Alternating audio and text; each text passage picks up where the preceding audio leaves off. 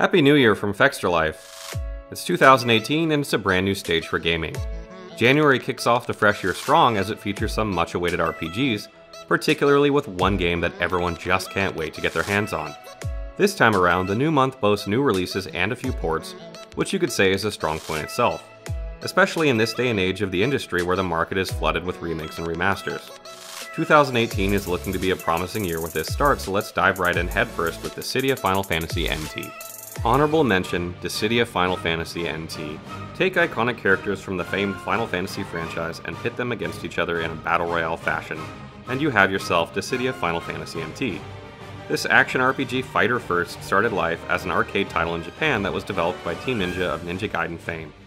And now Final Fantasy NT will be making its way to the PlayStation 4 console as an exclusive and will feature the same flashy and thrilling combat from its arcade counterpoint, but with new enhancements and features. The game features four class types from the headstrong vanguards to the agile assassins, lethal marksmen, and the unique specialist. It'll have players square off in a three dimensional environment where they can jump high, dash, and strafe with freedom as they trade blows with some incredible looking abilities. And just like in the mainline Final Fantasy games, you'll have access to summons, which can aid you in battle. The Dissidia Final Fantasy NT looks to be a lot of fun, and you can expect the game to launch worldwide on January 30th, 2018. Number 5 Life is Feudal. Next up on the list is Life is Feudal, and it's a game created by Studio Bitbox. It is a massive online sandbox RPG with an advertised 21 by 21 kilometers of virtual land for adventurers to inhabit. It features a living and breathing world called Abella, which is complete with a dynamic weather system and day and night cycles, both of which have an effect on the realm's natural resources that are scattered throughout. Being a sandbox game, players can harvest said resources and create their own communities that can start off as small villages, which can then transition into fledgling cities, forts, and eventually into a kingdom. Players will be able to forge alliances with other player held factions and can engage in war over territories and supplies. But that's not the only method of settling disputes, as opposing sides can also dabble in diplomacy for a solution. Likewise, being a combatant isn't the only role players can take on, as they can also set themselves up to be wealthy entrepreneurs, establishing trade and even their very own companies, and once making it big, can exert influence with their fortune. Life is Feudal is coming to PC via Steam with a tentative date of January 2018. Number 4 Legrand Legacy Tale of the Fatebounds. Legrand Legacy Tale of the Fatebounds is a JRPG inspired game from the studio Semisoft, and it's their love letter to the genre. The title features its own take on the classic turn based combat, in addition to an engrossing storyline.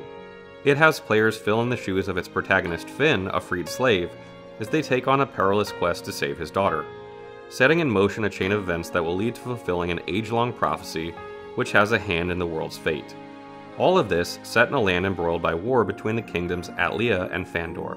It is there where players, along with their party of charming characters, will explore various settlements filled with interesting personalities for them to interact with, and dungeons that are teeming with danger from inhabiting monsters and big rewards, as well as battling it out with engaging turn based mechanics.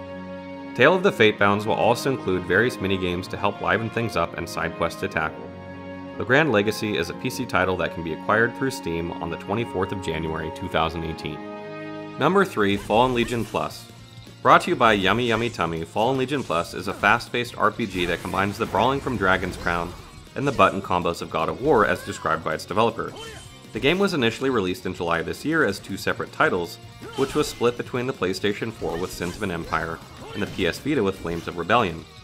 Each one telling the war perspectives and struggles of opposing sides in the world of Fenumia, from Princess Cecile on one end to Legatus on the other. Together, these games are being repackaged as a single release for the PC platform, hence the Plus. As mentioned, Fallen Legion Plus will feature thrilling gameplay that has players control a party of four, with each member being assigned a certain attack type who is assigned to a button. This setup can allow players to dish out devastating and complex combos against their adversaries. The game also has a morality system implemented that is presented with cards and a split second decision displayed on screen during gameplay. Each one can grant various enhancements to the group, but it's not without ramifications as their choices have influence on the story. All of Fallen Legion's 2D artwork that you see has been hand drawn and reveals painstaking detail, and not to mention a rock soundtrack to get you pumping. The game was made available January 5th, 2018 on Steam. Number 2 Lost Sphear. Fans of traditional JRPGs, listen in closely as you will not want to miss this one. Lost Sphear is the latest upcoming game from Tokyo RPG Factory and is the spiritual successor to I Am Setsuna. Lost Sphear features an intriguingly unique premise in that players will journey in a world formed by the memories of its inhabitants. This world one day becomes plagued with a calamity where memories are being lost with haste, pulling it towards demise. As Kanata, you and your band of childhood friends shall adventure across the lands to recover these memories, and by using your uniquely awakened power, you're the only one who can restore what was lost. Just like with I Am Setsuna, Lost Sphear also takes cues from classic titles such as Chrono Trigger with its gameplay. Featuring a twist with the old school turn based system, it sees players frantically position their characters in real time during a phase as to strategically eliminate their enemies with efficiency.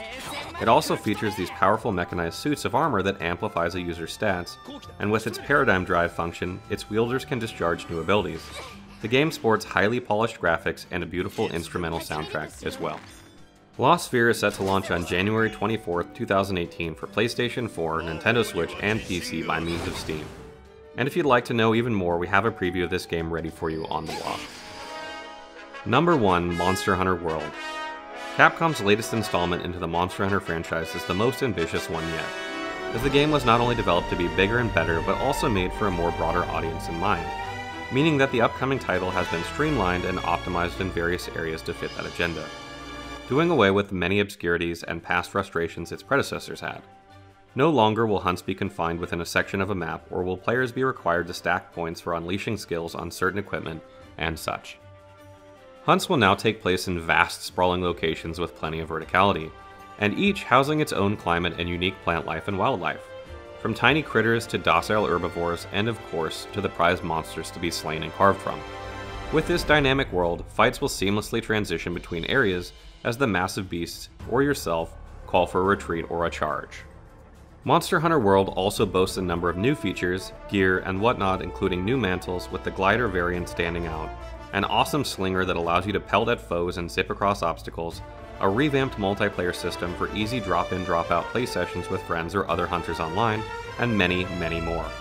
Monster Hunter World will see the good hunt commence on the 26th of January 2018 on PlayStation 4 and Xbox One consoles, with a PC release following sometime later this year. That's a wrap for the top RPGs of January. Thoughts on the list? What are you looking forward to? Let us know in the comments below.